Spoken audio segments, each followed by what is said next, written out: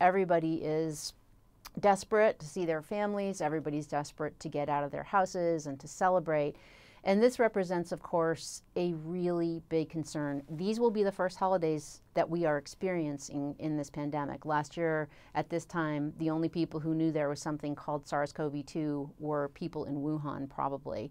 Um, so, what does this mean for us? Well, the safest thing, to be perfectly honest, is not to gather in groups that you haven't been cohorting with uh, throughout this thing. So if you want to go home to your parents or to your friends or your family, to people you haven't seen, recognize that it is going to pose a risk in both directions. You may unknowingly bring asymptomatic infection home, and you may acquire infection when you're there and then bring it back. This is an incredibly communicable infection. I've heard of clusters of cases now where the attack rate is astonishing in people who have been in the same room, particularly restaurants, gyms, and bars and churches.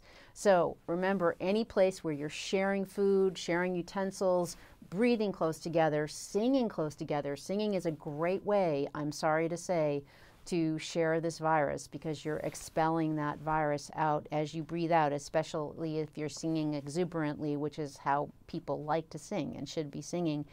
Um, so if you do it, just remember you've got to be incredibly thoughtful and all the things we've been talking about, mask wearing, hand hygiene, and social distancing need to be incorporated. The final thing I'll say about Thanksgiving that I think is worth noting is that a lot of people think they can just get tested and then go home and they're safe. Remember a negative test, even if it's a PCR test, which is the most sensitive test, only tells you at that very moment that you are not infectious.